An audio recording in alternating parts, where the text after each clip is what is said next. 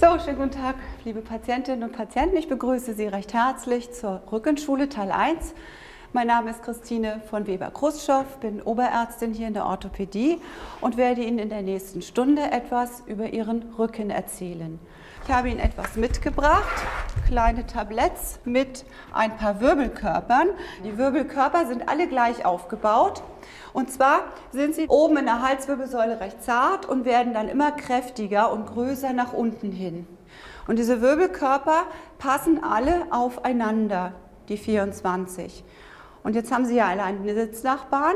Jetzt nehmen Sie mal und legen die Wirbelkörper aufeinander. Und dann sehen Sie, dass die Wirbelkörper auch zueinander passen. Mhm. Sie können ruhig zusammenrücken, dann haben Sie es ein bisschen einfacher. Der Herr hier hat das schon recht schön gemacht, der war ganz fleißig, hat schon vier oder fünf Wirbelkörper übereinander getan. Ob Sie mal nach vorne kommen könnten, bitte mit Ihren fünf Wirbelkörpern. Und zwar zeigen Sie doch mal, was entsteht, wenn die fünf Wirbelkörper übereinander gelegt werden. Ein Loch und dieses Loch wird zu einem Rohr oder zu einem Kanal. Und wissen Sie, wie dieser Kanal heißt? Spinalkanal. Richtig, Spinalkanal. Und wissen Sie auch, was in diesem Spinalkanal läuft, was da lang geht? Die Nerven und die Nerven haben einen Namen und der Name war, Sie hatten es richtig gesagt, Rückenmark. Rückenmark. Haben Sie auch gewusst, stimmt's? Ja, ja, sicher. Gut, wir danken Ihnen. Ja. Jetzt haben Sie ja alle Ihre Bandscheibenprobleme. Und es gibt sicherlich einige von Ihnen, die mal mehr und mal weniger starke Schmerzen haben. Und es gibt vielleicht auch jemanden, der permanent Schmerzen hat. Ist das der Fall? Okay.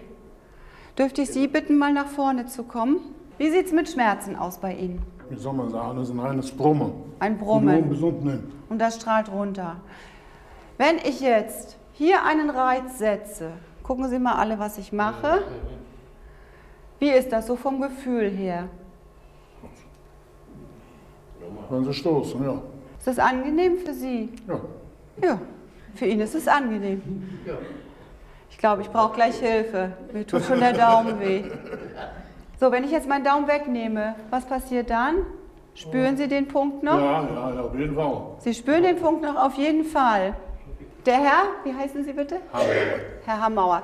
Der hat sehr, sehr schön uns allen klar gemacht, wie ein Schmerzgedächtnis funktioniert. Dafür gibt es erstmal Applaus. Nehmen Sie wieder Platz. Sie haben uns sehr geholfen. Das Gehirn hat sich diesen Reiz gemerkt und der ist verankert in Ihrem Gehirn. Und das nennt man Schmerzgedächtnis. Dagegen muss man etwas tun. Dafür sind wir da. Haben Sie Rückenschmerzen gehabt, stärkster Form, mit Fehlhaltung?